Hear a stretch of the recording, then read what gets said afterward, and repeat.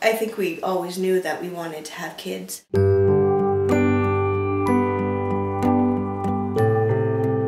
First ever, you know, thought of something changing our lives completely wasn't there. The irony is, is that it came a little later on with Piper. Uh,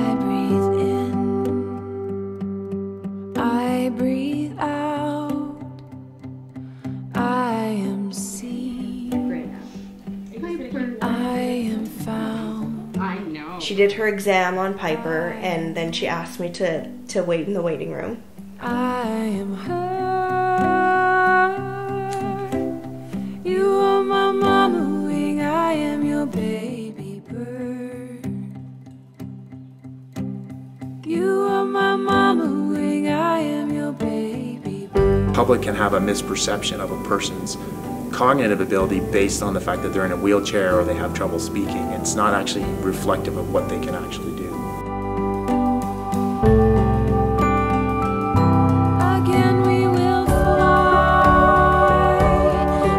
Because I carried her, I wanted to know what happened. You know, of course I have my own guilt.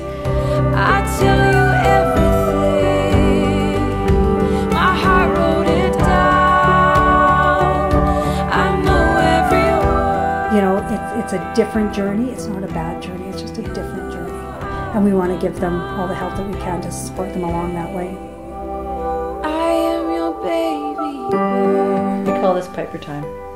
And even the doctor is now starting to say Piper time. So everybody knows when we say Piper time, it's Piper's time. It's how she progresses and it's on her own time when she's ready to do something.